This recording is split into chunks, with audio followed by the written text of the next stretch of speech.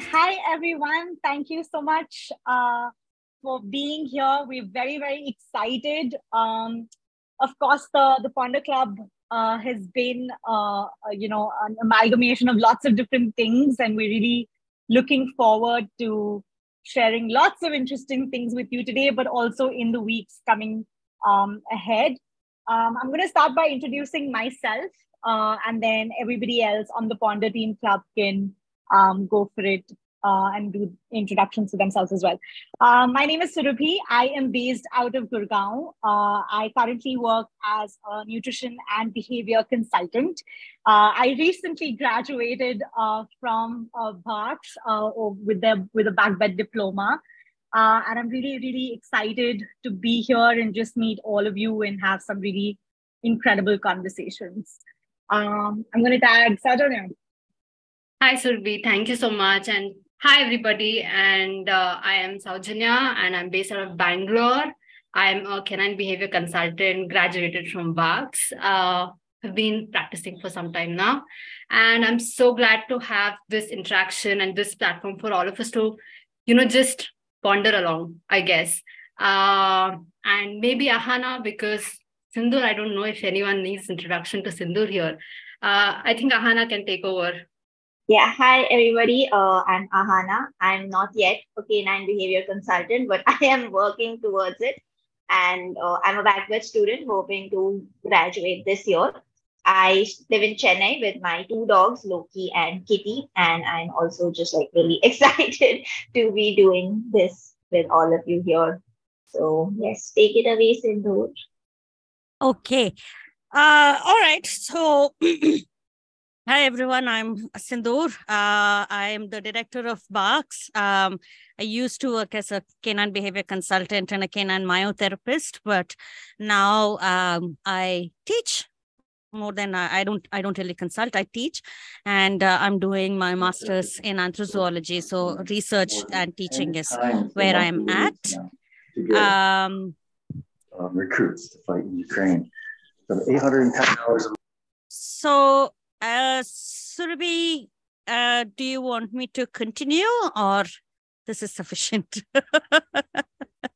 No, I think I think you can start us off. Yeah. Okay, great. So I want to uh, briefly tell you all what this is about. Uh, for the longest time, I have wanted to interact more with people. Um, a lot of people have been asking me, you know, that we want more live interaction. We want to talk to you guys. And I have not had the bandwidth to actually do that. Uh, I've been uh, just it's it's just a lot to deal with. So just teaching the 101 and the backbed course has overwhelmed me. And i know that that has not been enough. Um, really the interest that a lot of you have shown in terms of getting to know learn it's just humbling. I just i'm so touched by it. And i felt terrible that I have not been able to meet you guys and talk to you and things like that. So now with the new graduates that we have and the new students that we have, I think it's a golden opportunity for us to work together to work, bring something like this to you. Um, so what Pawnder Club is, and also we want to bring this to you at no cost. It is something that we have wanted to do. It's just, it's been so difficult for us to put something together but we i've known in my heart that this is something that i wanted to do so this is a no cost uh, offering from BHARCS. Uh, what it is, what it should be, is I think really something I want all of you to drive.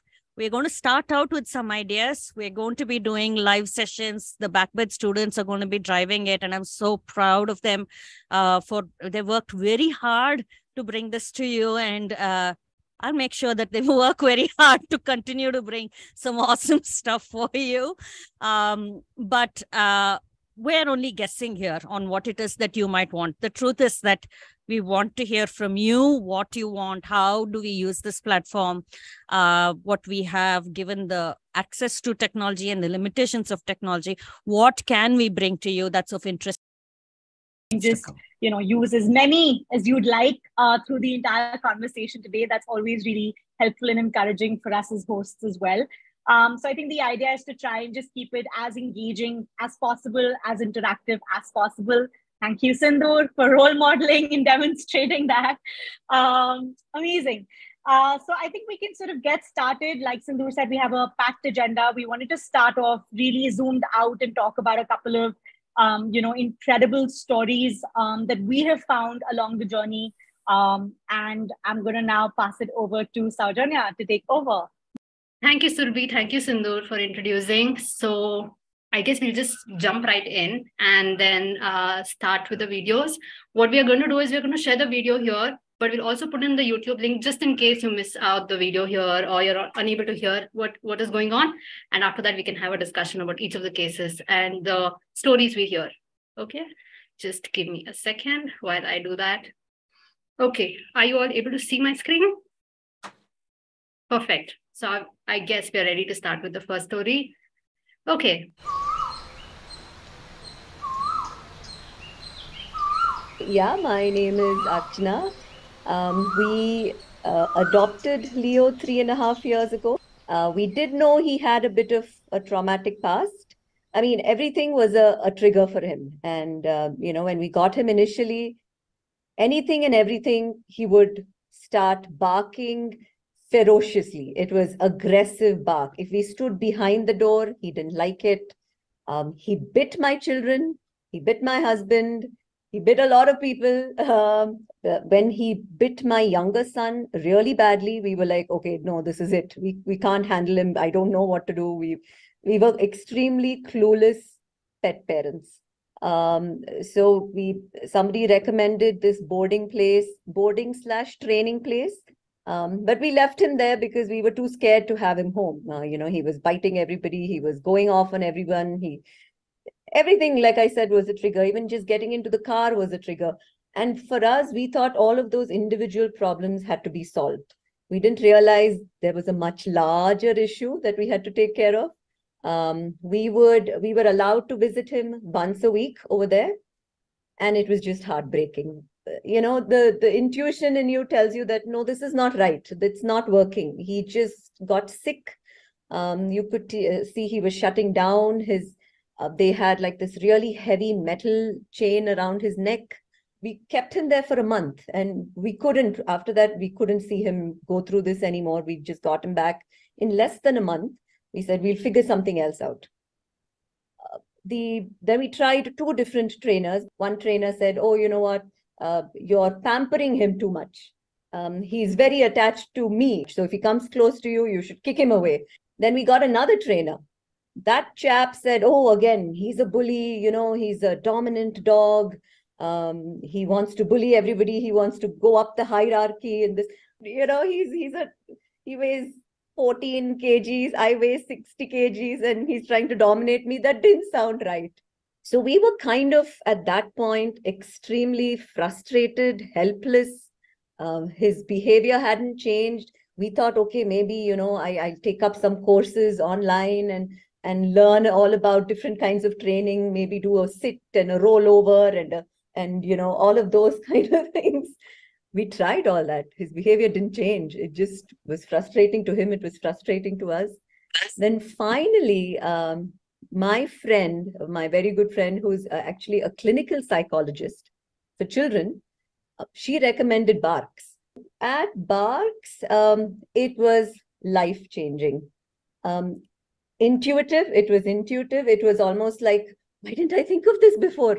This is exactly what I should have learned. You know, this was what I'm a mother of two, and I would never, if a child is crying, I would never say, you know, push that child away. Uh, he's just being crazy, you know, just push him away or whatever. You'd run to your child, you'd do all of those things. And Barks was very similar, you know, those kind of things where they teach you various methods to cope with and um, and now here is this dog. My god eh, we, we've even taken him on trips taken him on beach trips we've taken him on several trips. We even take him to restaurants but we know what kind of restaurants to go to. So we've learned what he likes what he doesn't like. He likes certain dogs. He has a best friend now who's a dog. Initially before barks every dog every human was a threat to him um, you he would see a dog a mile away and he would bark aggressively barking um, Now he's learned to, you know what, I see a dog that's really far away. I will continue to sniff. Um, I don't need to be threatened. If the dog does come into his space, if he does feel threatened, yes, he will bark. But what I've realized is if we leave him in a place that doesn't have too many dogs and he's off leash, he handles it beautifully. His state of mind is, his presence of mind is there that, you know, no, I don't need to bite now. I can just communicate to them and they under, seem to understand.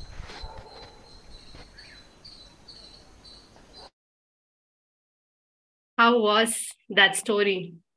Uh, I think what's sticks out for me about this story, and it's a very touching one, right? It's been stuck with me for a very long time. And it's touching for me because uh, the lessons learned by the the human there um, is very precious. So she's kind of learned most importantly not to fix the situation right? It's not fix the dog. Oh, the dog is biting get the dog not to bite.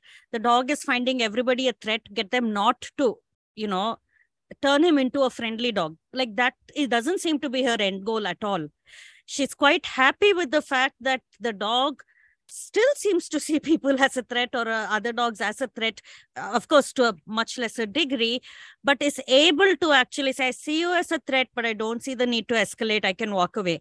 And I think that conversation, that nuance, that difference is something that we don't bring out in a lot of, uh, you know, training uh, con- you know conversations in general discourse in general because it's always about let's somehow return this individual back to this idealistic we were recently having this conversation right? The idea of a good dog the idea of a good person this such an idealistic uh, picture and we want to struggle so hard to return to that rather than figure out this is where the dog is at. And how do we just give the dogs the tool the individual the tool to cope with the burden that they carry? This dog has had trauma. There's going to be lifelong impact one way or the other. What and that's the same for human beings right? I have had trauma and i'm never going to be perfect. But if i can have the tools to figure out to deal with where i'm at i think that would be way more precious than trying to fix me True. I think, I mean, I totally agree. I think recently, I not recently, maybe a year ago, I had like a major downtime in my mental health phase. And I almost had like a breakdown saying, why am I not getting cured of my anxiety? And then it, it just hit me that we don't look at our, like when we work with our dogs in the Barks way, we don't look at it in the same way. We talk about coping skills, we talk about progress in the healthy manner, uh, or, you know, what, what might be the small step progress i think surbi spoke about this recently in her talk uh, and in the dog centered care group that it's not 0 to 100 right? Like even small step progress is progress. And then it made me realize that it's okay to have anxiety but as long as you know you have the tools to cope with it that's that's the larger picture and that's the bigger you know goal to have uh, in in that case. Um yeah. Surbi ahana anything to add? And we have some amazing comments as well. Yeah i think for me like i think what um, and, and and I could see a couple of reactions to that as well, right? I think what was very uh, heartbreaking to hear, but also I think it's so common is when somebody is told, "Oh, you're pampering your dog too much," right? Uh, and shifts this kind of blame onto the caregiver, onto the guardian, onto the guardian as to saying that certain behaviors of your, especially like behaviors that are anchored in connection and love, are leading your dog to behave a certain way right? And i and i find it i mean i just think that we'd never do that with humans right? If i knew that you have been through trauma i mean i would just focus all of my energy on making you feel safe and giving you that love and giving you that support as opposed to like pushing you down a line where there are you know consequences and and, and rules and all of that right? So I, I think that I think just that approach and, and very similar to what Sindhu said, I think a lot of conventional training, I think, misses out on that conversation. Um, and so, yeah, I think I was just thinking a little bit about that. Yeah. Ahana, anything? Uh, yeah, I think what I kind of related the most to this was like the frustration you feel when the training doesn't work. Because, like, I've been there when you're trying to, like, train a behavior into the dog, but it's not happening because the dog is kind of not in that emotional state or mental state to accept the training. But you think you know there's something wrong with the dog that they're not kind of responding to the training. Why aren't you sitting? Why aren't you heeling? And that also kind of just like fractures the whole relationship that you have with the dog. You kind of start i don't know not being able to see eye to eye with the dog and it just you just go like into a really bad space. So, yeah true. Yeah yeah. I think yeah we, i think even i have tried like a lot of other ways and trying to you know figure out helping of course not so much into aversive methods but even then right you're, if you're not taking dog's perspective what is going on the underlying reasons i feel like we keep coming running in circles not knowing where we are going at all with the with the entire situation. So yeah I, I think we are all able to see different perspectives of the same situation. And i just want to read out a few of the comments and then play. Uh, I, mean, I want to add something to this. Uh, this you mentioned um, you know the, your kind of closing statement of what you said earlier was um, i have anxiety uh, and it's okay to have anxiety as long as i have the necessary tools to cope and i think it's really important to know know um, and this is very early sort of discussion I've seen in very few places, but the uh, um, Joseph LeDoux talks about this in his book. Um, the book is titled Anxiety, um, and it's at the very last few chapters of the book. So it's a book that you have to suffer through. But then the last chapters that talk about how to deal with anxiety and he talks about all the things that don't work right? He's talking about ptsd and all the things that don't work um, so, uh, or have sort of limited success and you know uh, side effects and so medication and talk therapy and all of that come under that. But of the things that do work is a very interesting one which is active avoidance. So i think and this is something that i see repeatedly even with my own anxiety journey is that the and 20 years I've been in therapy and medication and whatnot.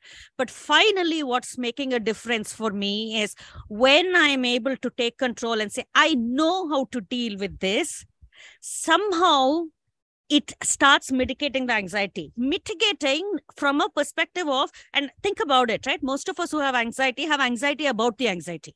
So it starts, you know, 10 steps early, right? I know I have social anxiety. So I start feeling anxious even before I have to go to that event. It's not at the event that I have, but that starts mitigating because you are now saying i know how to deal with that situation and therefore that part at least starts mitigating i may not get to zero anxiety but there is a dramatic reduction one that you know no amount of medication no amount of therapy has actually got me through to that but knowing that I, so i think it's it's it's important for us when we say when we say it's you know it's it's okay for us to hold on to anxiety but you know uh, coping skills is what we need. I think a lot of people make the assumption that what we're saying is this uh, you know you're just going to live with it. No this gets better. It gets better in its own way. It's promising. It's just definitely worth trying. I think that's the same for dogs as well as what i feel. Yeah true. Um and thank you for adding that in. I, of course, we didn't want to have any kind of confusion about letting the anxiety be or letting the the suffering be. It's not that you know that's not that's not the final message of the conversation at all. Um, okay, do we read the comments or do we go ahead and then take in questions about this, or do you want to go with the next uh, case, next story? We can yeah i think Saujanya, yeah i think we can also like look at some of the questions that came into the form right? Right? Right, right. okay so i think some one of the questions that i think is is i think relevant on this thread here um was and i'm gonna I, i'm gonna say the person's name just so that if they're there then you know they know that they hopefully got some answers, some reflection. Um, okay, I think it was Ankita who talked about just tips to to manage anxious, manage an anxious dog. I think that's what she was asking, and I can see Ankita nodding. So Ankita is here. Yeah. I think one of the great ones that Sindhu already mentioned while you know addressing the coping bits of it was the anxiety avoidance. But that's I don't think that again we, we are not talking about consultation or giving advice but i think a big part of working around the anxiety is definitely you know anxiety avoidance. But tips is very hard to talk about without we, we knowing what really is going on with the dog. What do you think Surbhi Sindhoor Ahana about this So I'm going to pull my card of, you know, being the, the, the director and I'll talk first, okay? so, um, so I, I, of course we can't get specific but i think the general structure and you know some of the comments coming in already talk about that right yeah. silky has mentioned um, uh, the idea of being in the moment. Now, how do we get a dog to be in the moment? I can't teach the dog meditation and say, you know, five minute meditation app, but what are the activities that allow them and watch watch with your eyes. It's there. What are the activities that are getting them to zoom like crazy or move fast? And what is the one that's getting them to slow down and concentrate? Typically we see things like giving them things to explore giving them things to sniff giving them things to chew on uh, giving them surfaces to walk on that are not flat uh, Ahana has a fabulous video. Ahana, if you have it up, send the link. Otherwise, we can send it on the group later. Uh, just, you know, setting up of different uh, surfaces where the dogs have to pick up, you know, and walk on and things like that. and it doesn't seem like it has anything to do with anxiety uh, why would walking over a broom or a shelf have anything to do with anxiety it doesn't make sense right but i'll give you another way to look at it lot of yoga practices have to do with balance and they help with reduction of anxiety. Balance exercises with their yeah. amazing amount of proprioceptive input tends to reduce anxiety and increase focus. And there's a lot of neurochemical stuff there that we don't have to get into. But the real life example that we see repeatedly is yoga. It's a great example. So i think things like that. So on one hand what are the activities to add? On the other hand, avoidance. What are the things to remove? Anything that has to do with the dog getting very hyper, very excited, even something as simple as you coming home and going, versus, hi, who's a puppy? Both have love, but one gets the dog excited one gets the dog just feeling that love. And that's the you know that's the thing. So and of course uh, what a consultation will do for you is a consultant will come in and look at your entire life and map this out for you to say okay this this this please don't do this this this given your home. These are the things you can do. And uh, again there was a comment somewhere you know about gut health. So health in general can cause issues. So trying to analyze that pain, chronic pain, try to analyze that. I think that those things can be taken care of and a consultant will do. But generally, these are the principles that we repeatedly tell people. And I think we will touch upon this over and over because this is really the structure of it. Yeah, absolutely. And I think like I also think like just building off of what both both of you said, I think for me, even in my own journey with anxiety, right? I think what's just been really helpful is to think about how do I just regulate my nervous system and what are different things I and I can do to be able to do that, right? Um, and when I'm feeling dysregulated, do I have access again to be able to find comfort, find you know calmness, uh, find a space of just feeling safe, right? Um, and I think again a lot of that translates then to to what we do with with dogs as well. Uh, okay. But before we move on to the next video, I did want to make a quick Chodu announcement. Um, okay, so a big part of uh, accessing the goodies uh, through the live is actually to take pictures of the event and then share them on your social media channels um, and tag us and use a few hashtags. I'll put all of that down. But I realized as soon as the video started that I forgot to tell people to take photographs of the event. So just remember to take photographs uh, so that you can uh, enjoy all the goodies the rest of the information and I we put in the chat and we sort of repeat and reinforce through the event. Yeah. Back to you, Saujanya.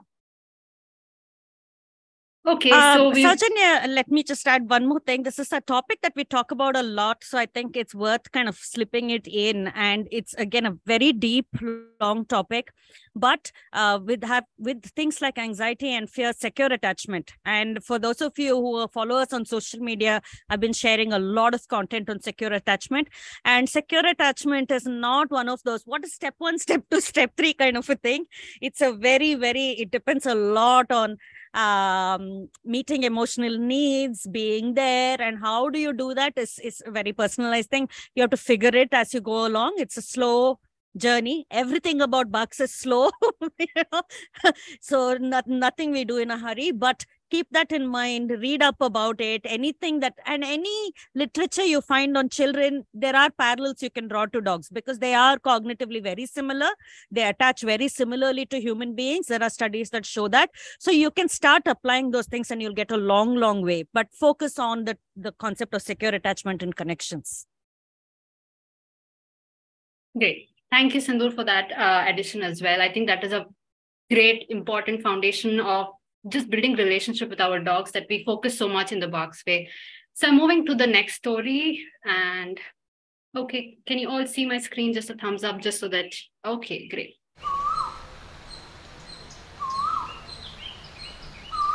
So hi, my name is Roma and I've got two furries like indies. Uh, Marvel, my elder one just turned four and Sufi, my younger one, is about three and a half. And Sufi came to us when, uh, you know, she lost her eyesight. So Marvel, I think uh, she was she was my first rescue, and uh, you know, uh, the thing was that she came in as a very unwell child, and uh, you know, she never got adopted. So when she was around four, you know, nobody could stand near her food bowl. Like even if you're walking past, there was aggression. Like she would just lunge.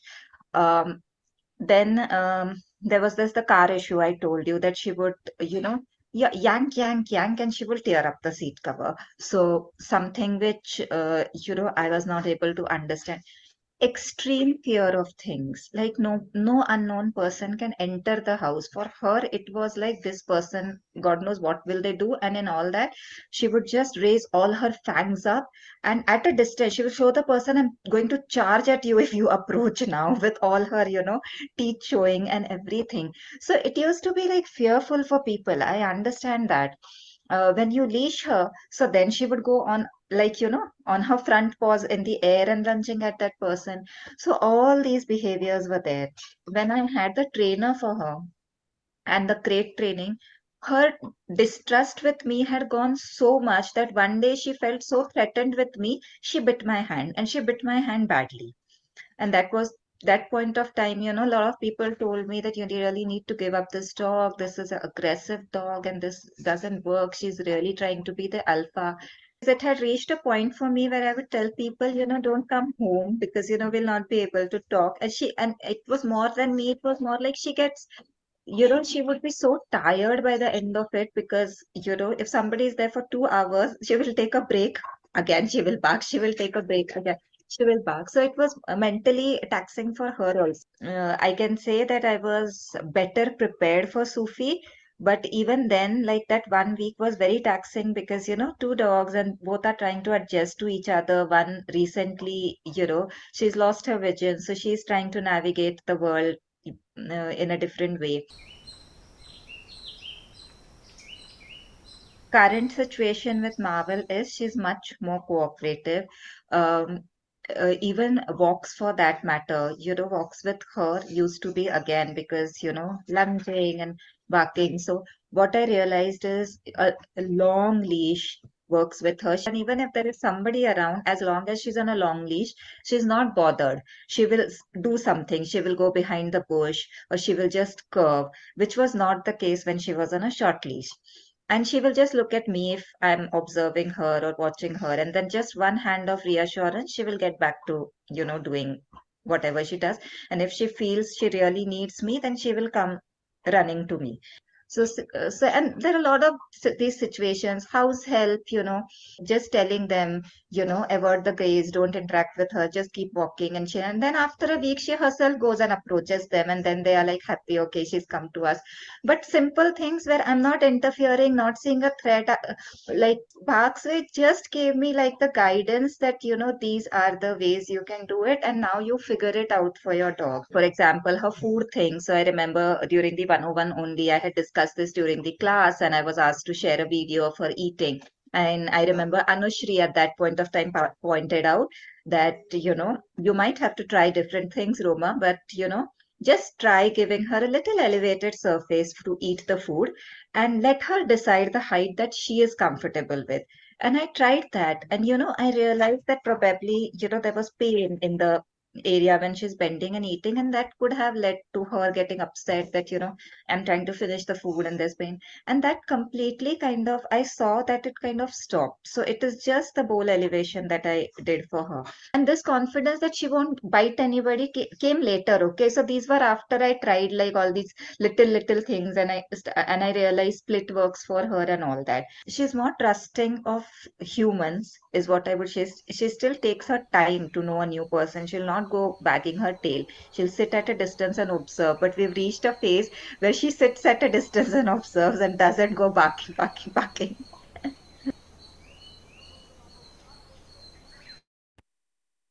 okay. Anything to add? What are your thoughts? I think probably I just want to add one thing that she has discussed a few things that work for her dog, but every dog is different. So I guess that's one caveat that we want to add uh, more or less with most cases here. Um, but yeah. Okay, so um, some things stand out for me, right? One is, um, you know, she does, and for those of us who have done the 101, we realize how many different things she's actually doing. But for those of us who, people who haven't done it, you probably hardly heard anything right? Like she said what happened before she said what happened after but what happened in between? But she actually said a lot of it. It's so deceptively simple really. You know one might wonder why going from a short leash to a long leash why should that make a difference? Uh, surely there has been some training in between. But the, these are the things when they come together. And i think the other thing is the example that she gave was a very powerful one right? And this is something that that is the devil in the detail. That's the beautiful devil in the detail right? Is that dog who was biting people when she was eating her food our solution was not to say we'll train the dog we will you know de- counter condition the dog so on and so forth. Our solution was to say try elevating the bowl. For that dog like Saujanya said it may have worked. For another dog it may not. And that's kind of where the trial and error and you know the full repertoire of knowledge is necessary. But that eye for detail. Don't rush into fixing things. Don't don't blindly do things right? Watch what could be going on what could be going on. That should kind of keep you up at night right? What is it that could be going on? It's not a bad dog. Um, and i think uh, that that mindset is what is common across people who come to Barks. That willingness to say i'm willing to sit and you know keep myself up at night to really try and figure that out. So this, this was a really nice story for me to hear I had full flashbacks of my story with mutton. Um, and so we've actually done a case study on that and there's snippets of that uh, on the BHARCS page as well. But I think so much of what she said, um, you know, rang true for my experience with, with mutton as well. Um, and I think that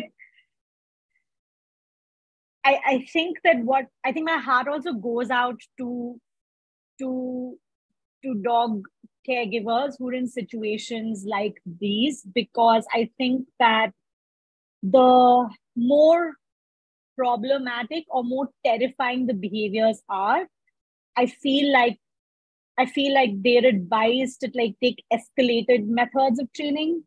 Um, you know, and so for example, I think she spoke about she spoke about crate training, for example. Uh, and I know Sindhu's done a talk on crate training uh, as well. And I, I just feel like I think for me that was that was a really big moment, right? To saying that the more terrifying behaviors, the higher or the more severe form of training is required, or we amp the, um, you know, we amp the what we think the dog needs in that moment, which has a much more negative impact than than what it does right? And i think again if we if we go back to so much of the literature on children and you know and difficult behaviors like what what they need in that moment is just like safety and connection and space uh, and someone to just try and understand why are they behaving the way that they are right? Um, so i think that was something that that resonated with me uh, I also think um, just it's important to kind of remember that the situation doesn't like remain the same. Like there's like a lot of fluidity to it. Like for example, when she brought in a second dog, because that's kind of what happened happened to me like very recently. What worked with me and Loki in the past, like they the thing just shifted when Kitty came into the picture, and then you have to kind of work at new ways of figuring out how to manage the situation and you know manage it for Loki, manage for Kitty, and like your dogs, and yeah, just kind of keep changing with the times, basically. Um, so one thing we can do, Saujanya, there are a bunch of questions, so maybe we can take those very nice questions. But also, I'd love to offer. We did a AMA as part of the auditorium. So for people who have done 101, we have an auditorium uh, every month. We do three live events, and uh, Ahana did bring the question of low low Loki and Loki and Kitty uh, into the AMA, and uh, we have the recording of it. So I'll share that as well because we did a deep dive on it. So maybe there'll be stories there. As you can see, we don't have step one, step two, step three. It's all somebody asked, right? A lot of trial and error, a lot of case by case, absolutely 100%. And so I think more cases we share, maybe something will click some idea will click and that's probably a better way to go than us trying to give you like a cookie cutter, one size fits all solution. Yeah, I think I, I want to take the uh, questions. There are a couple of them. Uh, but before that, I felt, felt like there was something that uh, she mentioned, which was how Marvel stopped trusting her uh, through the process. And uh, that's such a big a factor when we are working with our dogs uh, because a lot of times when we are not looking at what the dog needs and when we are looking at just trying to mend the behavior i guess constantly the dogs are losing their trust in what they see as their caregiver figure that human you know who's supposed to be there for them. So i feel like there's that kind of stood out for me in terms of how the dog lost the trust uh, in the initial period. And i think um, if I remember correctly, she mentions how the trust factor increased quite a bit over time when, you know, she mentioned about the dog wanting to come and then stand next to her and letting her handle situations. I feel like that's a huge thing, especially when we are talking about secure attachment, reassurance, and building relationship with our dogs. Yeah, yeah. absolutely. Mm, Saujanya, yeah. do you want me to read out the questions? And then, yeah, okay. So the first one that came in was um, this is by Nutpack. I think this is somebody called Shivani, if I'm not mistaken. Um, how does one build reassurance? Um I, I, okay. I think the theme that will repeat over and over maybe we should put it on the back here is it'll depend on the dog. So you know um but um of course at barks we talk about a few hand signals and things like that. She talks about the idea of splitting. These are all body language based things. Um, and that we can't cover all of that here. But in general i think building reassurance building trust is showing that I will show up for you. If you're scared, I'm not going to yell at you. I'm not going to ignore it. I'm going to acknowledge it. Something as simple. I'll give you a really simple example, right? If my dog is barking at something outside, I'm not going to ask her to shut up. I'm not going to ignore her. I'm going to tell her, I hear you. I know there's a problem. And I might even go look outside and come back and say, everything's fine. It's all show. I know there is nothing uh, really scary outside probably there is a cat or something like that. Okay that's that's her thing. But taking that into consideration her point of view into consideration uh, i've seen a lot of dogs turn and look back at their humans. And this is something that has been studied. There's so much studies on this that dogs tend to look back on humans when there is a difficult problem. It's a genetic thing that they do. Uh, so they look back at you pay attention to that. Maybe it'll occur to you what what you should be telling the dog. The dog is going to turn and look at you. Most of us don't even realize that. And so we don't respond to that. The dog is turning and saying hey will you help me? And we are somewhere else. So just paying attention to that. And in the moment i think you'll realize what is the help the dog needs. It may be uh, you can work a lot with body language. Something as simple as it's okay. You're okay they're masters at reading body language. So you can try something like that. You can try with your voice. You can try with your um, uh, facial expressions and things like that. You can uh, look at ideas like splitting that Turid talks about in her book. I talk about it as well. Uh, and yeah at our consultations and 101 we talk about hand signals and things like that. So those are a little bit more effective and advanced but the general principles are somewhat like this I think just showing up what you mentioned, I think uh, reassurance, I would just summarize as showing up in whatever different ways for our dogs. because recently I've had like major shift in my lifestyle. We've I've moved homes with my dogs, and you know I'm living with my husband. And my younger dog Zoe, she has major separation anxiety, especially when he's exiting the house and everything. And I remember this one day she was sitting at the gate and then she was looking out, waiting for him to come in. And I just sat there. I was reading my book and I was just looking at her and I'm like, you know, it's okay. I'm here. You know, till you want to sit here, you want to come in. I'm ready for it. And i think it's been two weeks since you know i've been like showing up whenever this has happened. And today she sleeps in the room when he's not around completely you know able to cope with the situation. So i feel like reassurance is so many different things but i think it sums up in like showing up for your dog i guess.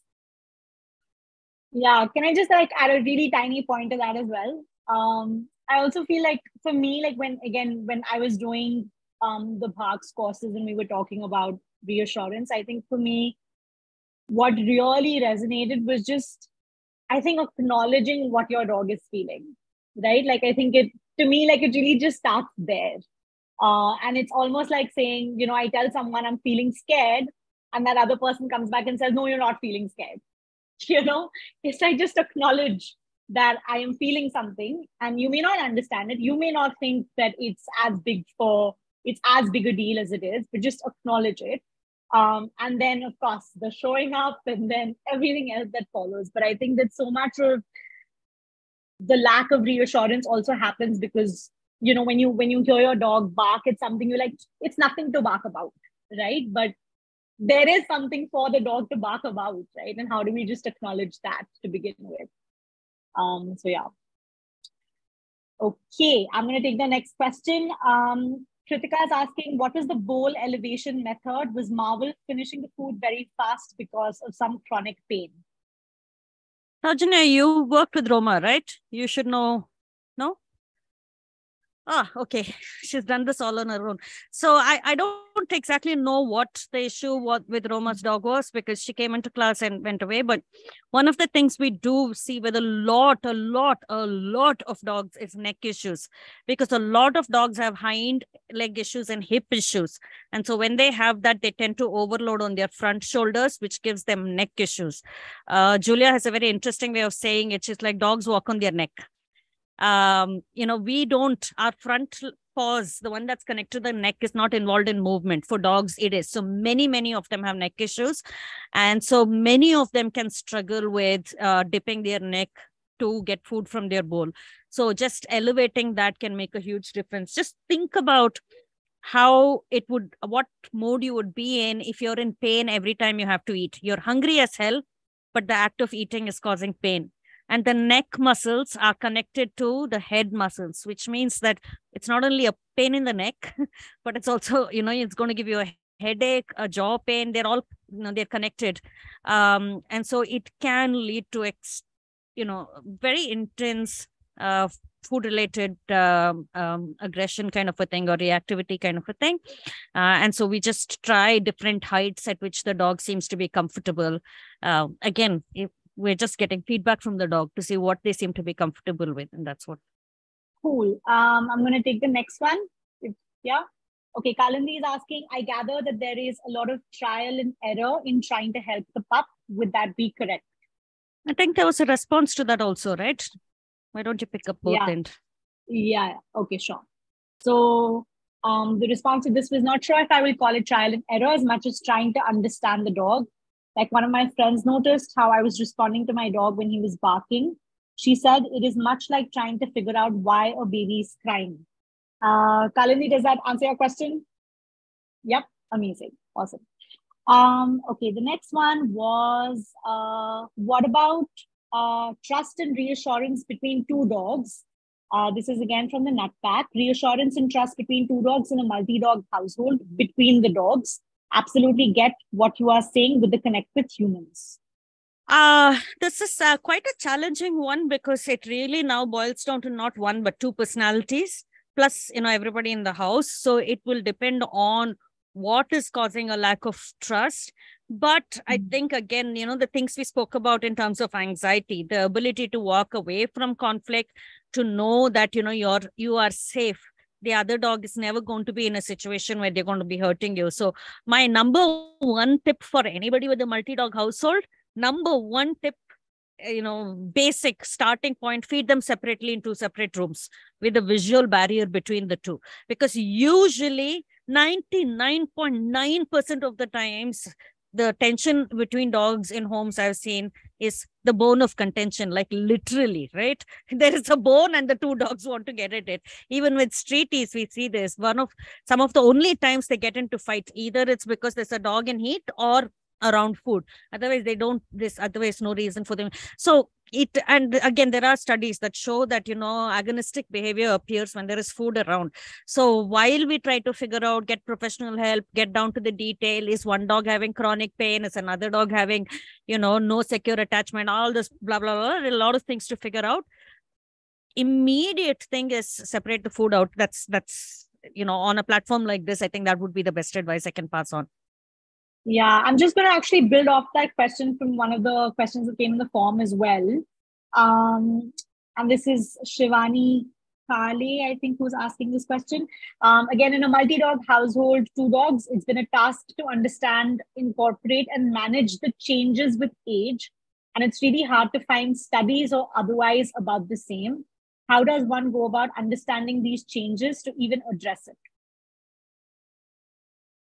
So I think uh, Ahana made a good point. We do have a video coming up on this, mm-hmm. uh, and I'll share um, Ahana, uh, Loki, and Kitty's as well.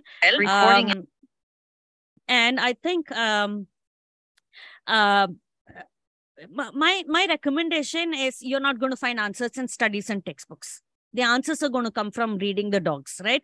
Reading specifically what are the changing needs of the dogs. And uh, and like ahana mentioned earlier this is so fluid that it'll keep changing. So no textbook is going to be able to give you the response there. I think reading the needs of the dogs and working from there is what's going to help uh, now I don't have a multi dog household anymore. It's just Chiru and a bunch of dogs outside that want to come into my home. So maybe one of the other, the, the other three of you have multi dog households. So you should take this one. Yeah, I mean, I think changing dynamics is something that I'm experiencing now with, you know, I guess Sammy being in 12, you know, he's already 12 years with a load of health issues currently. And, you know, um, I'm seeing that Zoe is kind of testing, you know, can she be now the the older one because Sammy has always been the older one and like ruling the house, uh, so to say. So I feel like changing dynamics is probably constant in terms of with age, especially when you know the the two dogs are trying to figure out where the other stands. Uh, but I think how to address it if there are any health concerns. I can see that Sam is struggling, so I know. And I think their entire equation started with, you know, the issue of two dogs having different needs, two dogs having different energies. And again, we are back to the same situation of two dogs having different needs and different energy uh, levels.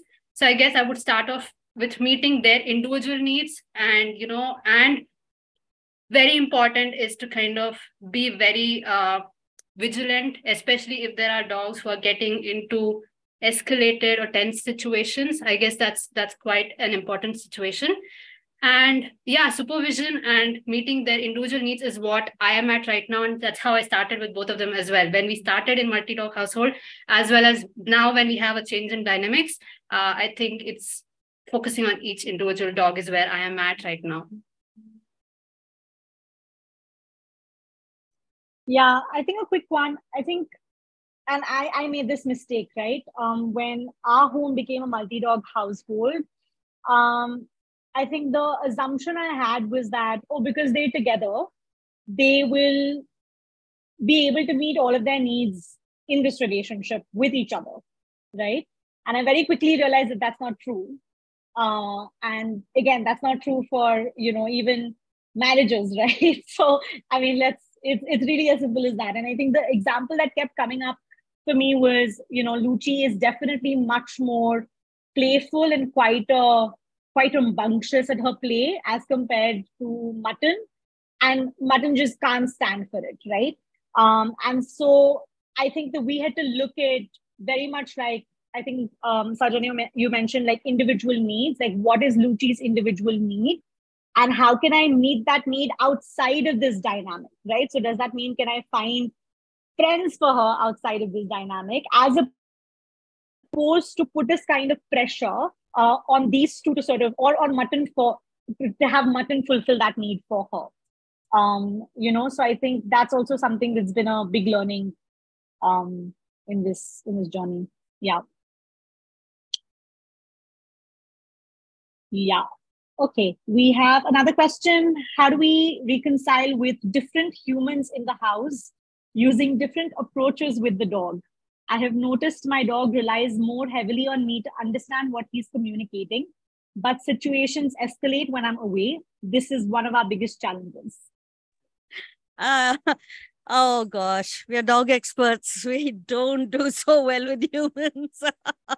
uh, and uh, quite honestly this has remained a challenge repeatedly with people coming in um, even back with students the number of meltdowns. I, I, honestly don't know.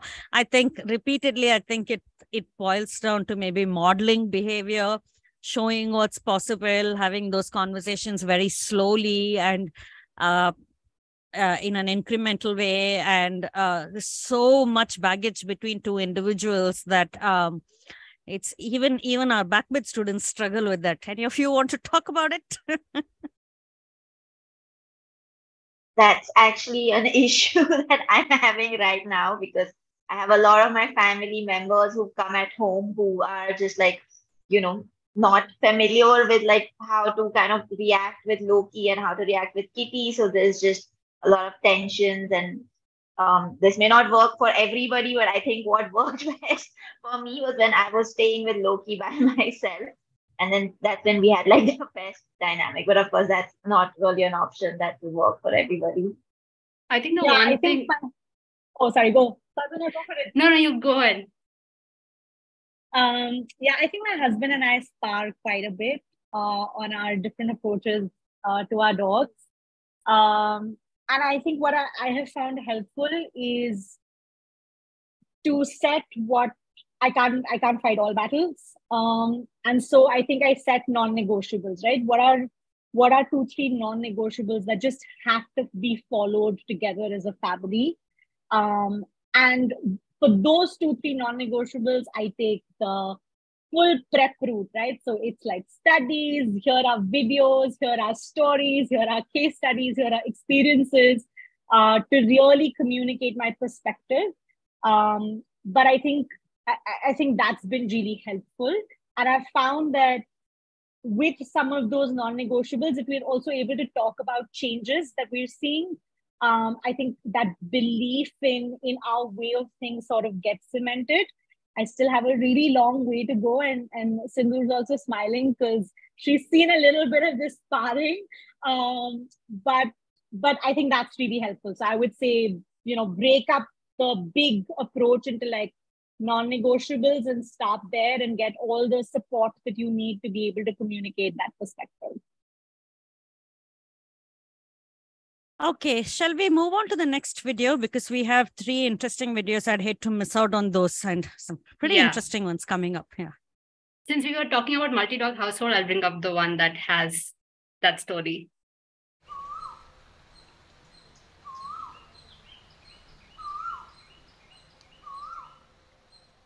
Hi, I'm Sunil, and uh, we have two. We have adopted two dogs, uh, Weasley and Potter. So mm, initially, uh, Potter, when we introduced Weasley to uh, Potter to Weasley, they were quite fine with each other um, until uh, you know um, uh, get to a place where we were a little, how can I say, um, overlooking things. Uh, that's where things started getting a little worse.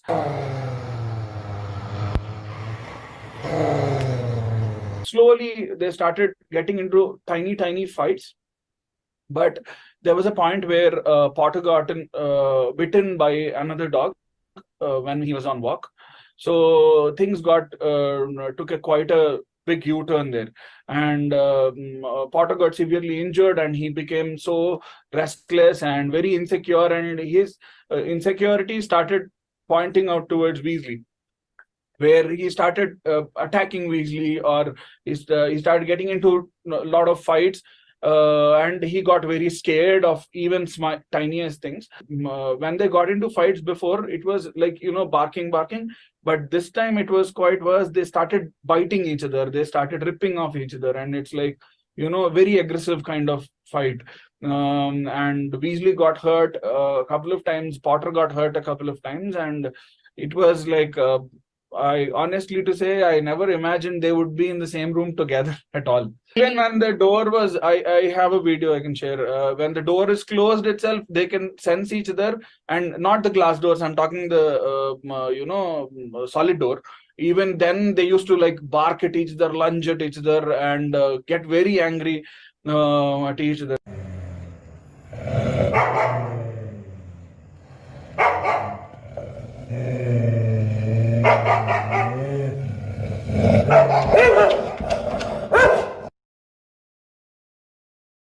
it's not i'm not saying it it happens overnight. It's a process but um, uh, it's definitely uh, there is a huge change like uh,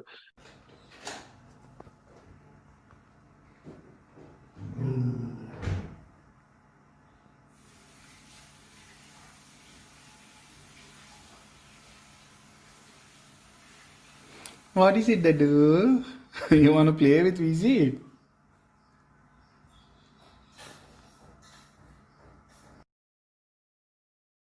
present it. I would say it's wonderful. Um, uh, but i mean I, I know we can't take things for granted but uh, definitely a, a, huge improvement. They sleep on the same sofa beside each other. So it is like quite unbelievable. They uh, they are able to tolerate not just tolerate they play a lot now they they are fine with each other uh, and uh, even now they, we are in a place where let's say one one uh, guy is eating uh, something the other waits uh, they don't lunge on them they don't, don't get on them they have they learn to give their space uh, to each other. So that is uh, that, that's the kind of improvement we have now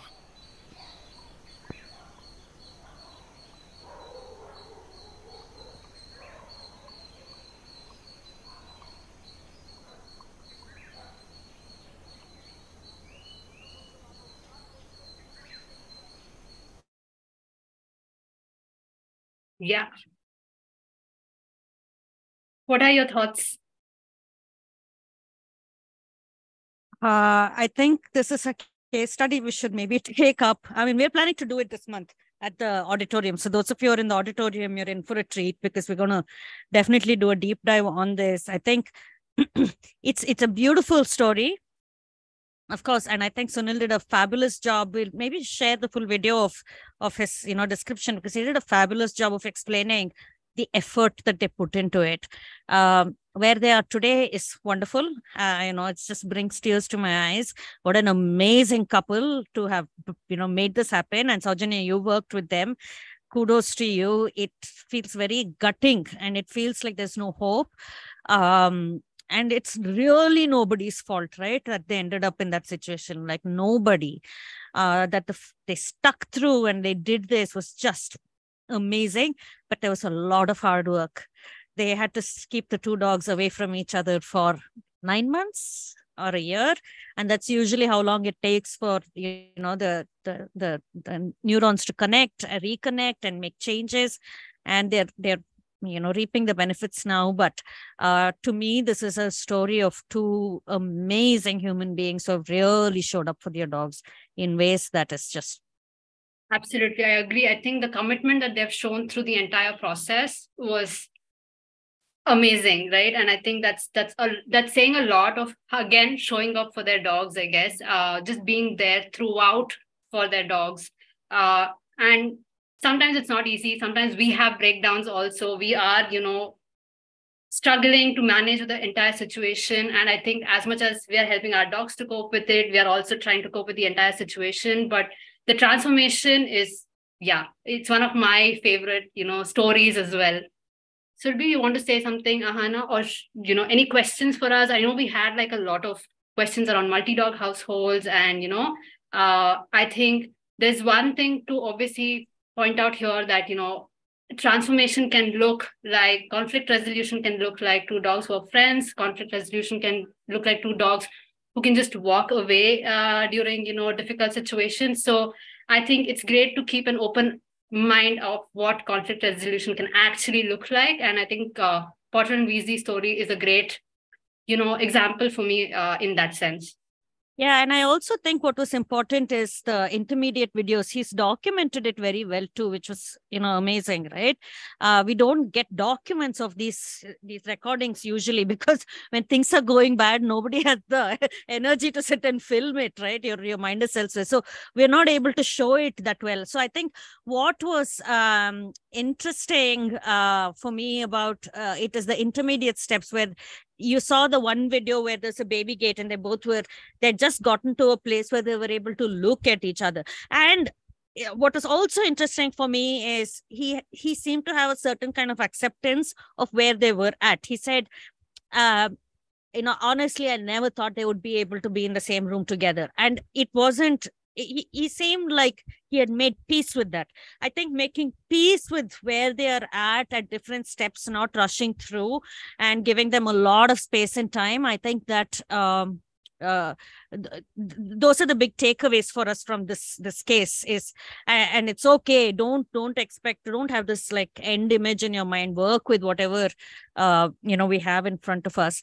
Um Monica is asking me about uh, neural changes in nine to uh, nine months to a year. And quite honestly, it's not something I have too much depth of information on because uh, you know I am not a neuroscientist.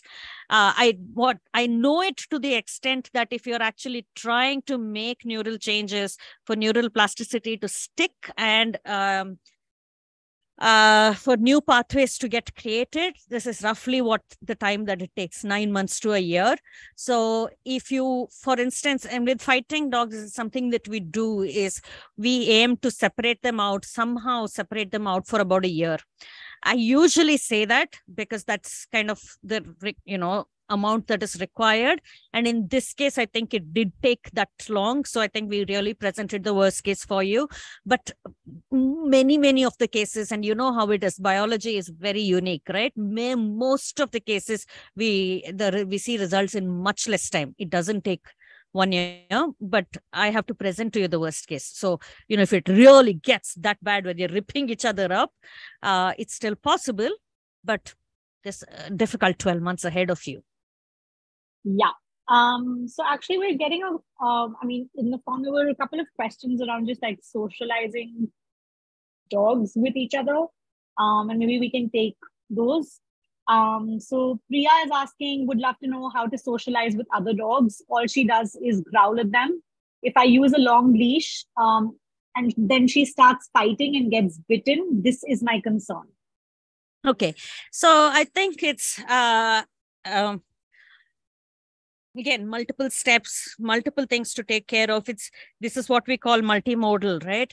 Uh, if an individual and, and try to think of this as human beings because we're all social beings. So some things are common across all social beings.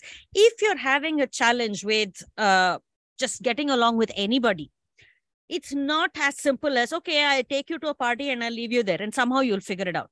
No right it could be because you are anything from your having chronic uh, health issues, therefore you just don't like social company. It could be that you have social anxiety. It could be that you haven't learned to deal with others, and so you just never do well in people's company. Uh, it could be that uh, you have been burnt so badly by the people that you have met uh, that uh, you your you have a defensive face that you're bringing into the picture. So it could be any of that. So I think number one would definitely be to figure out where exactly what are things going wrong. And with all cases, one of the first things I do, this is something we talk about at Barks all the time empty the cup is what we say. What we mean by that is get the dog calmer. Don't try to deal with the problem at the hardest point. First, do the groundwork. Get the dog calmer. You cannot have a hyperactive, scared, nervous dog and then take them to a you know park full of people and say, okay, let's try and figure it out there. That's a band-aid solution. That's not what we do. We've seen that it never works, never gives you long-term solutions. So get the dog calmer. And we spoke about how to do that earlier, you know, calmer activities, slower activities, things to stop, things to start. So try those things. And then uh, pay attention. I would always introduce dogs to another dog on a one on one basis. I will vet the other dog. I want to make sure that the other dog is able to handle, you know, where my dog is at in a mental state. For instance, Chiru, after coming here, has a play style that's very different that the dogs here don't like. And uh, not all the dogs can teach her the right play style. There are a few dogs who are very patient with her. Now, those are my best friends, right? because they are willing to teach her this very patiently and nicely. The rest of them want to bite her because they don't like what she's doing. So it's like a play date. You know, as a parent, you will handpick who has to spend time with your your child, and it's based on your child's needs. So you find the individual dog that will that will be right for this. It's going to involve trial and error and uh, a very slow approach. We don't go head on. Uh, we work on a very very slow approach. Look at the dog from a large distance. If, if it looks like you're able to handle you're not wired up then we go you know closer and closer. If it's looking like you're still wired up you're not able to think through you're not able to mentally process back to the drawing board. Why is this dog not able to handle it? Is there an underlying health issue? You have to get to the bottom of all of that and work through it. Um, so yeah, I mean, this is very generic stuff. You know, hopefully you'll understand the process. Maybe you can try some of these things, and then if it's still not working, probably it's time for a professional consultation. So maybe there's something going on there that, uh, as a layperson, you're not going to be able to see, and you'll need a little bit of our help. Uh, any of you guys want to add something to this?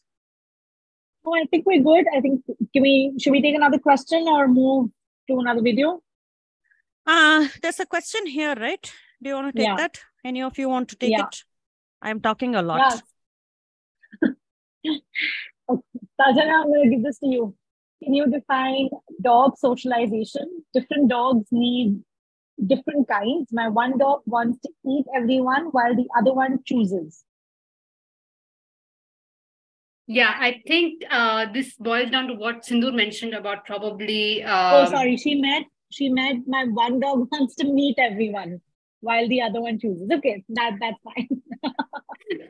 Yeah, I think uh, again, when when multiple dogs have different needs, I guess you have to meet those needs differently. Uh, I don't think trying to have the same solution for different dogs with different socialization needs, personalities, uh, also threshold to the kind of social, you know, uh, socialization. I guess uh, I, I think that is kind of important, and if again what kind of so- socialization quality of socialization because we we hear about socialization in a very different way in the dog world uh, but we humans know right like not all of us have the same capacity to socialize we don't have the same way of socializing we all have different uh, capacities energy uh, personality types or you know choose the kind right kind of you know uh, people to socialize with so i guess a lot of these things go into uh, deciding uh, how you would socialize. So I guess socialization would just mean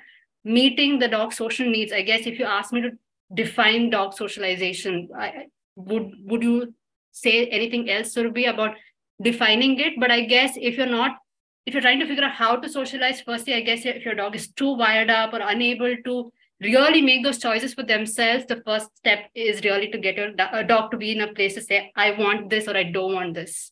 No, I don't think I want to add anything to that. I think you pretty much summed it up. So I think we're good. Anna, do you want to? Uh, yeah. yeah uh, i think just to say that socialization can just look different for like different sets of dogs. Like we often tend to think it's like you know dog one is playing with dog two but for some dogs it may be they're just able to exist calmly in the same place or just like sniff together or just you know we like like how potter and weasley were able to just like nap on the same couch. So i don't think there'll be like a fixed kind of definition of an end goal that we'd see with socialization I think what you said about meeting the dog's specific social needs is an interesting one, and for people to think about what may be the social need of my dog. And again, uh, because we're all social beings, it's worth thinking about how each of our social needs are different. What is your social need versus mine? That's an interesting conversation to have. Um, for instance, for me, my social need is often uh, not I do not like partying in a club with 10 people. Like that is not my idea of that is not my social need. I come back exhausted. I have to prep for it. It is not pleasant. It's not meeting any need. It's me pushing myself to meet a social obligation, but it's not meeting my need. Uh, my need is to have few close friends sit with PJs. I don't even like to change. I want to sit in comfortable PJs with a glass of wine, you know, sit on the couch. Uh, and uh, I have a friend around here. Her social need is to go on uh, beautiful drives and uh, treks and she likes to walk and that is not my need and we figured it out and so she's like you know she meets you know random people and she goes and that's she she meets a social need that way. Mine is i need to know these people very well. Only then i like to meet them. I need to be able to have specific kind of conversation only. So i think there's so much variation.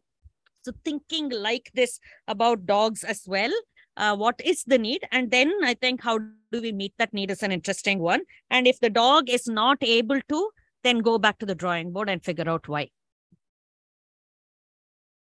Spurti's story is she's put up a thing and we love it. Spurti, your story is also coming up. We can't wait to share that with you too.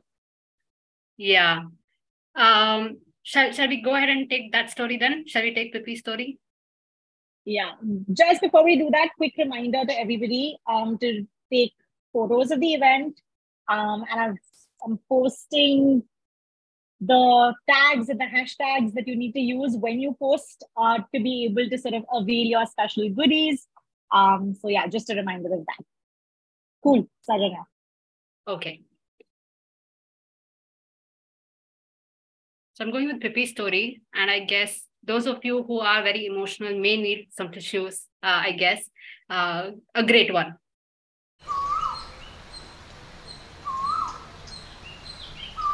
Um, I'm Spurti Raman, and um, I am, and I have uh, a dog. Uh, you know, he comes from the streets of Bangalore.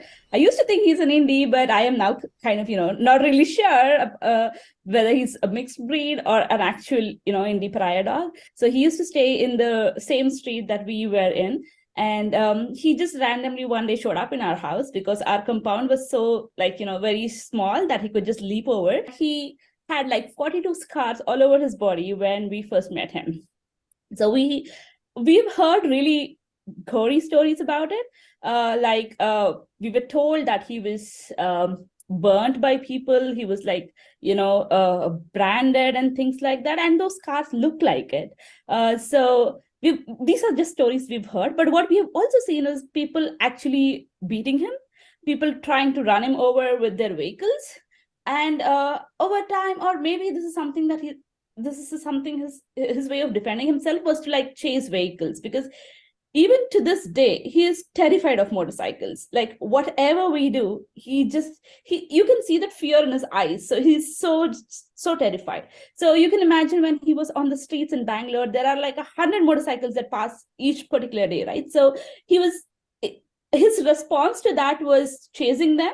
And sometimes he's had uh, a lot of bite history as well. So he he would bite people uh, in the motorcycles if they wouldn't stop or wouldn't slow down or you know things triggered in him and he would bite. But it got to a point where the bbmp landed in front of our house and they were like we're going to take away the dog. And they're like if you if you don't want us to take us you have to keep the dog yourself. Like like keep it as your pet. And i'm like that was like an instant for us to decide a 15 year long commitment and I didn't blink an eye to say yes. And since then, he's been our dog. So, with all the past, you know, in the initial days, um, people were still despising this because he would bark. He would bark like crazy whenever a vehicle passed by our street. So um, every single time there was a bike that passed in front of our house, he would bark.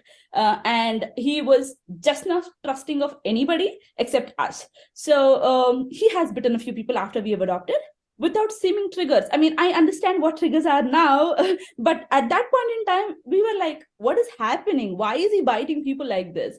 And uh, there is nobody he would trust. And of course, it is, uh, you know, also because of the trauma or uh, whatever he's gone through in the past. But, but, but we were like, okay, what did we like really sign up for? Is this something that we can do? We want to do? And added to that, I forgot to mention about reacting to other dogs.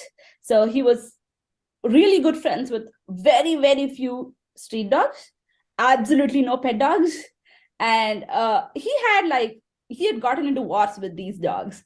Even after we adopted, he he harbored that you know vengeance or whatever he actually bit a dog like a street dog with so much vengeance right in front of our eyes we were super helpless the fact that we moved before we moved i think more than me and my husband uh, my parents and my husband's parents were super worried about how would we take a dog like this into a country where if a dog bites anybody the dog is going to be put down right? So it's it's a lot at stake. In bangalore we can somehow rationalize with people somehow you know uh, stand up to things and say he's our dog or whatever like the way we did with pipi but then here you are an immigrant and then on top of it you have a dog like this who's biting people it can escalate really bad and you could be liable your dog would be put down. The stakes are super high. So we were we were obviously lost and that's my main motivation to you know go sign up for 101 so um so how he is right now like now he's gone for a walk. We don't have any you know troubles with um taking him out for a walk because uh when he's on his footpath to the pavement uh he just doesn't bother what's on the road and today he just walks up to anybody with a wagging tail and gets all his pets so we are not worried about, oh, would he bite them or would he react to them or anything? He chooses who he wants to talk, and that's pretty much everybody here. Uh, with dogs, unfortunately, when when we were in, still in Bangalore, when we were in the middle of you know move and all that, he made a lot of streety friends. At one point, he had like 40, 40 streety friends uh, in different parts of the street that we would take him to. And he would like speak to, like talk and interact with everybody. Uh, here, oh, because there are no street dogs, unfortunately, um, he tried to make friends with coyotes. You know, paw lifting, talking to them, and all that, which was hilarious. and um, of course, the coyotes we didn't want anyway to go near them, and they were just sweet and they were on their own. And we were like, "Pipi, this is not a dog." Uh, but um, he, the the fact that he tried to communicate with them was interesting for us. Um, and a lot of pet dogs here do not have or or i should say the pet parents do not have an understanding of natural dog behavior that we are fortunate to see with Pipi. So uh, a lot of them don't even probably know how to communicate. So he's very, very wary of that such dogs. There are some dogs, however, like you know, Mexican rescue dogs or things like that, and he's happy to talk to them. I also remember somebody came to my house, like a neighbor. He had she had seen Pipi Pipi and his ways before he was adopted. And she came to me and she's like, Pipi has calmed down so well and is, is such a good dog right now. Could you tell me what you did so that I can do it for my son? I was like, oh my God, you should go to 101. and touch wood, no bites ever, ever for so many years. Whatever be the situation, whoever he's confronted with, um, no bites uh, dogs or people or whatever. Uh, so we're, we're super happy with that part. And yeah, his, his, like whoever meets him, they're like, oh, he's such a good boy, such a obedient boy. He's not jumping on people. He's not like, you know, typical uh, pet dog behavior. Uh, so people are super happy to kind of have him around. Uh, and we're happy to see that because we were at a stage we were like, he'll be put down the moment we're going to land here. uh, and to see that he's really won people's heart um, is you know sometimes it makes us proud and sometimes it wells up our eyes. It's it's like we're just happy the way it's turned out and we're so proud of what he he as a you know a dog that's come from a past like that has been able to achieve in today's world.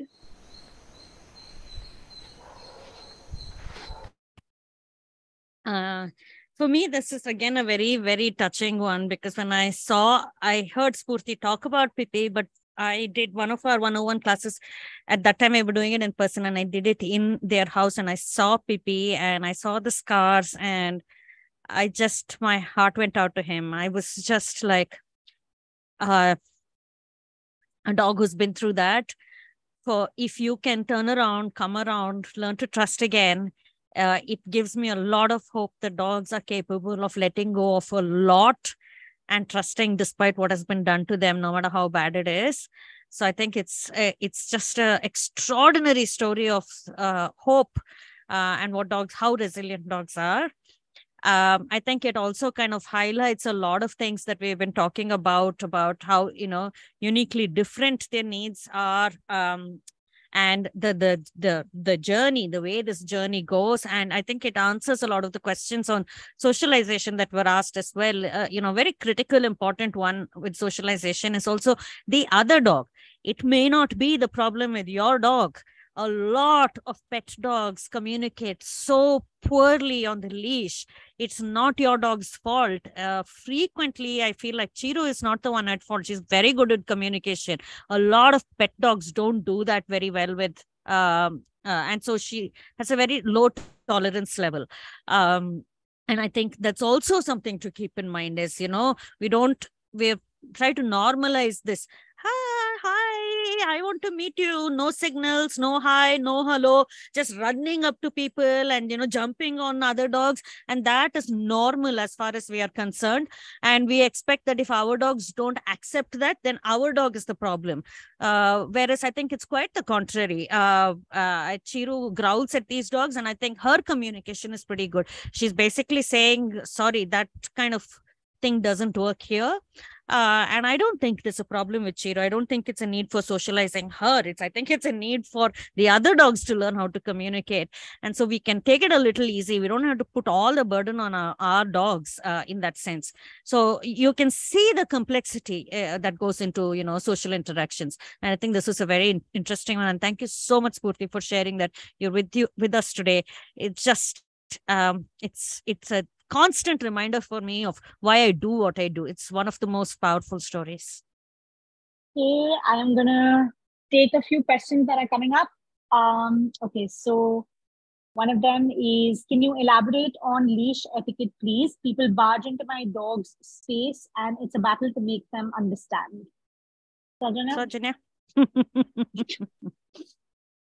um, I wonder if it's it's easy to kind of get other people to uh, get to understand. I guess it's it's it's the hardest part of the job, which is you know get people to see and understand and you know help them change their mindset about be it socialization, be it you know uh, leash etiquette for that matter, or calming your dogs down, or the fact that your dog doesn't appreciate it.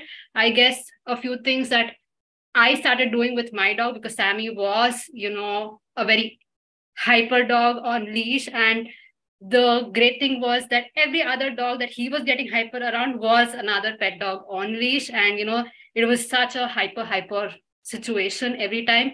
And so i just you know stopped going around that time because i knew that i was getting stressed. Sammy was getting hyper. The entire situation was very hard to handle.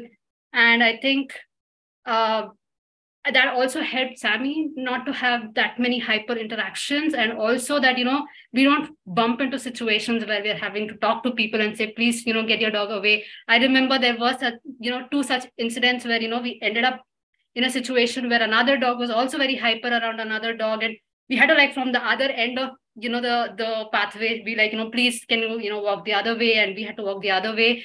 So it's very hard when you're walking and it just doesn't meet the need of the walk at all, right? It, it just doesn't serve the purpose of the walk at all. So we just stopped getting into that situation repeatedly because it was kind of required for our sanity and the sanity of Sammy. And over time, I guess it helped uh, for us. And I think the other thing that we can do is just get other people to see how our dogs are, you know, over a period of time and then just realize that they might need some kind of help or they're interested in a conversation about this because i feel like a lot of this this can be a very conflicting situation. Uh, what do you say? Yeah i lie a lot. When in these situations you know i when people try to bring their dog near my dog i used to say no my dog is blind. She can't handle other dogs. Uh, she was isn't. Uh, and then my dog is scared. She can't handle other dogs. She isn't. Uh, but I just all kinds of things. Um, and uh, I just avoid social contact if I don't know what the other dog is like. If I uh, basically what I want to tell them is your dog is not polite you and you have not helped your dog be there but that's obviously not a conversation i want to have. And so it's just avoidance. And it's interesting we're coming back like full circle right? Because we spoke yeah. about avoidance right at the beginning. And avoidance and the beautiful thing about avoidance is the more effort i put into avoiding the situation for my dogs my dogs quickly learn. This is another way of showing up right? It's a great example of showing up which is i am willing to avoid a situation that is likely to be difficult for you. And so my dog learns that this is possible. So when she sees a situation that she thinks is going to get out of hand she turns and looks at me with this hello are we going to do something about it? Shall we run? Uh, shall we go? And i'm like yeah i mean if you want to go we go. I also have a lot of i put a lot of thought uh, into uh, the situations I get myself into. So, for instance, if I'm going to be out on the streets, I always have my car with me. Often we don't move very far away from the car, and I have the you know boot of my car open and a ramp there. And my dog Chiru, she any of you have seen her know this, you know, the slightest thing that gets her afraid, and she before anybody I know what happens, she's just run into the car. And people are like, Where did your dog go? And I'm like, ah, chances are she's in the car. And sure enough, should have run into the car. Um, outside my house. Again, I keep the gate open so that she can run in. Um, again, it's a I let's see if I can uh, catch that video and send it where uh, she's trying to meet a new dog. She's getting a little nervous, and I have the gate open, and she knows very well mom shows up for me. So she knows that if I go into that gate, that gate shuts behind me and all the other bully dogs can't come. That is what we mean by showing up, right? She knows that there is the safe space. Mom always has a safe space for me. And worst case, you know, you can come behind me and stand and I will defend you, you know, body on the line, my body on the line, right? So she has learned these things. But for all that, there's been a lot of sensitizing in, in the earlier years, which is to say that I am willing to walk away from the situations. You know, I am not going to subject you or me to this and if i have to lie that you know whatever whatever i have to come up with uh, I will come up with go to the other end of the road, road walk in the middle of the night, uh, walk in uh, you know extremely odd hours, walk in places where nobody else walks. So it could be you know a construction site, a parking lot, anything, anything that I have to do so that I do not have to put them in. Not in the beginning when we are when your dog is still learning. Maybe at a later point, they can handle it a little better. But in the beginning, they really need that space so that they can, you know, their brains can develop, rewire, they can think, and they can ha- handle challenges that come one at a time right don't don't like bombard me with it one at a time i can handle this and they can they can build that muscle so so to say that social muscle can be built uh, without overwhelming them yeah. So Spurti is also saying the same thing, going for walks. Yeah, we're all like night owls. We all like little thieves, right? All of us like step out, look left, look right. Somebody is there, run back into the house. we can be quite odd that way. yeah, I think three things that I just want to add to that and like like daily, I think which has now become like daily habit of walking with my dogs. I think one is, you know, like fairly like scanning the environment, right? Um, and so if I see that, you know, another dog is coming in the same direction, or children are coming in the same direction, or you know, one is I have the advantage of two slightly larger dogs, so people are, in general are not are not keen on sort of approaching us. But even and then if there are humans who really want to approach us, then it's like looking out and then taking a different route, different direction, like moving away completely um, I think that's that's definitely one thing.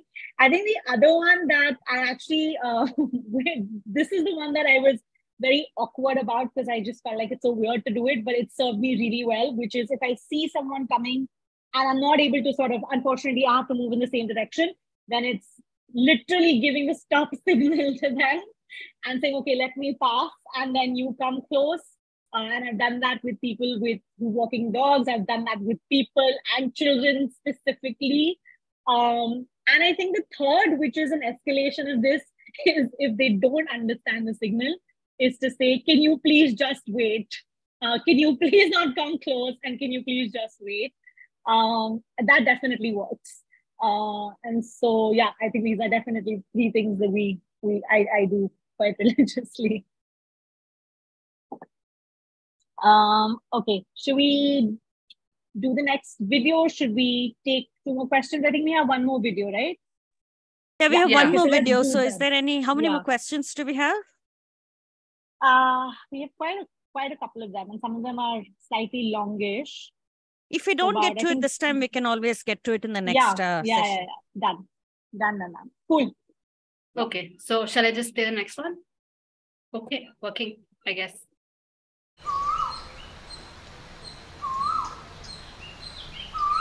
Okay, I'm Bhuvanna. I have two dogs. So Goose, we got her when she was about 45 days old or 50 days old when she was a puppy. Uh, Baira had lived on the street for some time, and we suspect him to be a breeder discard. Uh, he, we think he's a Belgian Shepherd or Belgian Malinois. Goose has more of an, an anxious uh, personality. She tends to be a little bit more jumpy, a little bit more uh, uh, jerky, alert, and all that. Uh, well, she was my first dog also, so a lot of things I did not know how to uh, go about bringing up a dog, and and there are a lot of uh, advices out there that's dime a dozen and uh, time out and things like that. None of that. It's like it only made her more agitated. The worst advice was, you know, separation anxiety. You need to ignore the pup till it uh, till the pup stops crying when you come back. It just didn't make sense. I even attended a uh, uh, a primer workshop kind of a thing, a question and answer session, and the, the, treats didn't work. I mean, it's like it just didn't work, and it, it felt also tedious. Uh, and two months after having gone home, Baira joined us. And when Baira joined us, he was a big dog. So there was this huge dog, right? And uh, a lot of fights would break out between Goose and Baira. And uh, uh, Goose did not like him in the house, in the same room as me, trying to lay claim to me as well. Uh, food fights would break out. It's like I, I the whole thing, you know, the pack needs to eat together nonsense was also there. And uh, and then eh, they ended up sleeping in my room, and both of them would end up uh, like breaking into fights in the room. So, so I was averse to all training methods and trainers in general because it was a lot of nonsense advice is what I felt it was. I, I was like, it may be working for people, but it doesn't work for my dogs. No. And so this friend of mine, even when we got Goose as a puppy, uh, he had mentioned about Sindhoor's uh, training, and it's like, why don't you just get in touch with the person, see what goes? And I was like, no, no, I decided no trainers. So thankfully, uh, Sindhoor's book came out, and then this friend said, why don't you just get the book and see if that's something? Uh, it's it's a good book, just read it.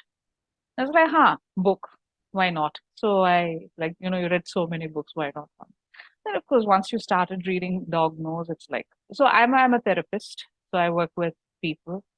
So my approach to working with people is creating space for people to learn and grow and change and all that. So Sindhoor's book resonated with me, and that's when I was like, oh, this feels very different. Now it's just play. I mean, it's it's play. There's no fights really.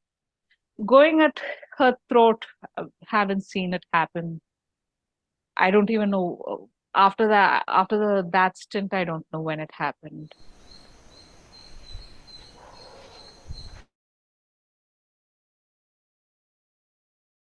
Yeah. So I think the case was more of two dogs getting into fight, and I think there was a lot of separation anxiety for one of the dogs. And since I've worked with Bhuwana, there's also a lot of like leash pulling, and I know Baira would get into like a lot of difficult situations in the walks as well. So I guess that was all the background information to that case. And uh yeah, anything that you would want to add? Yeah, I think this was an interesting one. And the reason I think this was, it's maybe it's a really good note to also kind of close the session on is that this is a work in progress case right? So we can i think continue to monitor it. And when we get updates you know maybe we'll have future sessions also where we talk about what did you try? What did you you know where where are we at? Because um you know in a very short span of time we've kind of tried to fit in the highlights of this but there are still a lot of issues. And Saujanya, you're working with them. Um, um i know Bhuwana has done 101 and uh, now she's doing private consults with you. Um but um, you know again there's a lot of work involved. It's slow progress. You're not going to see these flashy walk in and you know i will do magic like this and you know we'll walk out and things will happen. Like that doesn't happen. And it, it a lot of things that we work on look unrelated but it produces results at the end of it um, slowly. Sometimes it's not even noticeable. So to me i think this was a lovely story of somebody who's again trying so hard. I really love the people at Barks because they try so hard, never give up. um, and uh, yeah, I think I would definitely recommend that for the Pawnder Club. This is this should be a case that you guys follow more closely, uh, the ups and the downs as honestly as possible. You know, it's interesting. You said uh, there's so many things that you're trying, and they're all little things, and you may not even realize that they're all connected, or you know, what you're doing also is something that you don't know sometimes. And this was my conversation with Bhuwana, and you know, one of the times, and she, she's like, you know, this is magic. And we were talking about some, you know, situation on walks and vet visit. And I was like, what did you do? And she's like, good question. I don't know what I did, but you know, when we think about it in background, there is so much going on in, in the entire seemingly small, seemingly unrelated things. But when you put together, you tend to see how all of it fits together. Any questions yeah. for us? I've, yeah. I've, I've heard that a lot. I used to have hear that a lot during consultations because they would come back the second session and suddenly they have a new like a new dog right like they've traded in the old dog and new and and in the beginning that when i was working i wanted feedback so i would be like what did you do i mean of all the things that i said what did you actually try i'd like to know you know for my and most of them would be like i don't know what i did um and and now now I I know I I know I can see the big picture, so I know. But yeah, it often feels a little strange and not sure what we did to make that happen. Yeah. So, um, shall we take one of the questions? Oh, sorry. Oh, yeah, sorry.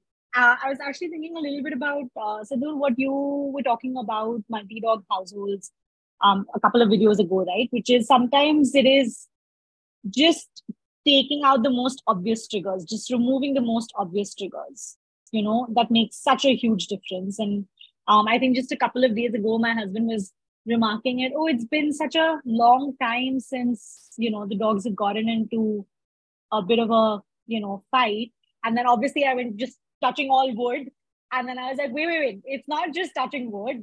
There's a lot of things that we've actively done um, and I think a big, big part of that has just been remove the triggers, right? Some of them are really obvious, and then some of them are very specific to the dogs together. Um, and so I, I, I think that's just that's really helpful. Um, okay. All right. So let's look at some questions. I think we can take one or two depending on the questions. Um, Okay. So this is um, a three who is saying that her dog was uh, either abandoned or was a free living dog. Uh, the place where they stay now has around 25 free, free living dogs. Um, her dog is fine with every single one of them except for two dogs. Both are female dogs, Melon and Baki. Baki barks at her generally whenever she sees her. That's why Mupa's reaction, who's a three's dog, with her goes with barking sometimes, and sometimes she ignores it. Mupa's real issue is with Melon. Melon doesn't bark at her. Mostly we see her giving calming signals, yawning, turning her face to a side. But Mupa's reaction towards her from the beginning was always very feisty. She pulls us, becomes agitated, added with snarling and barking. We've tried hand signals, yawning, or calling her like calling her with a whistle-like sound sometimes nothing works at all. It becomes very stressful for us and her both. She does the same thing when she sees and hears a bike with loud noise passing by. We can understand because she has stayed on the street, she has trauma, but I want to know how can we give her that comfort and assurance that the bike will not do anything. If I know how, we will be able to address this issue for her. So I think there are two things together in the in the question. Yeah. Um, again i think this is very very specific so it's it's going to be difficult to handle mm-hmm. it on this session um one thing i would suggest is maybe one of the other sessions future sessions we have you can pick up a question like this and like really you know pull yeah. it apart and see what you can do um uh, and usually uh, with the lunging and things like that, uh, my first go to is space, create more space, react sooner, react faster. You see them at a distance. If they've already started kind of, uh, that means it's already gotten to a point where they can't handle it anymore. They're, you know, they're not able to handle the situation that they're in. So, how do we avoid that for a certain period of time? right it's it's not uh, you know forever situation for a certain period of time how do we avoid the situation till the dog is able to regulate slow reintroduction look at each other from a distance um and, and you know get them to be able to share space. Uh, but for that you need a certain period of time when they're like not exposed to the trigger. And the bike again it's it's a very difficult one to answer. I think spurti touched upon it. Uh, her dog still has issues but um, it takes time. But what i think one of the interesting things that struck to me with spurti's case um, was uh, when i went to her house uh, the the there was repeated exposure to the trigger because the bikes were kind of going right in front of the gate and she mentions in her story that you know they had a relatively low compound. So i asked her to kind of um, cover the gate and through the gate the dog could see what was going on. So cover that visual barriers. Um, that by itself does not necessarily fix things, but that gives a little respite. It reduces that overexposure to the trigger. So something of that kind where, you know, there are some ways in which you can do something to reduce the overexposure and then like, you know, do something, give the dog some space and then start working. Um, I think that might help. So of course if if if you do a private consult it's definitely one of those cases that you can bring into the uh, the tip was so transformational. Pp is so visually stimulated. Yeah. Many dogs are very visually stimulated and particularly indies. Indies are extremely visually stimulated more than you know uh, the other breeds that we see. So cutting off that visual contact for them uh, can make a really big difference. So that's kind of what I'd like to say. Um, I don't know if you have time to do a deeper dive on it. Any brief, anything that you guys want to add? Okay. Um, okay, so Aparna is asking what could be the different ways or means through which dogs seek to establish connection with us. That's so cute.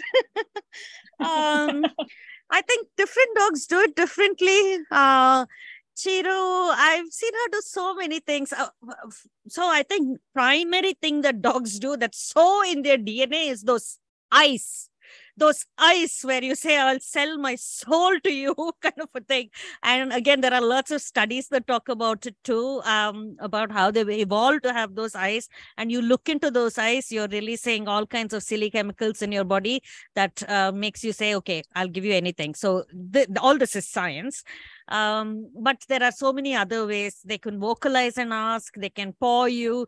And chiru has a very very cute way of asking particularly when she wants food from me she puts her face on the sofa like this, not looking at me, looking away. And she'll put her face like this and wait. And she's looking at me from the corner of her eye and waiting. And for some reason, she has learned that that helps her. So I think, uh, yeah, there can be many, many ways. These, these are uh, Chiru's ways. You guys want to add anything? Yeah, Luchi is a whiner. So she so she does two things actually. One is she'll just come and stare at me or the other is she will whine. Um, and mutton's very straightforward. Hers is just a paw. And then you are stuck for the next 20 minutes. You cannot move. Um, it is an intense petting session and you must pet everything consistently. So, yeah. I think Zoe is um, just come and sit on your lap kind of a dog. Uh, it, it doesn't matter who. Like, I think that has become her greeting way also. Like you know when we when she sees new people and that's an observation i made recently. She used to be scared of men initially and now uh, when there are even like strangers coming home like guests and all that she actually would want to go sit on their lap and like get pet completely. Um so that is i think zoe's way. She would and touch and sit. Like no matter what touch and sit till she's like you know satisfied with like okay fine i'm done now i'll go to the room and sleep now that kind of a dog.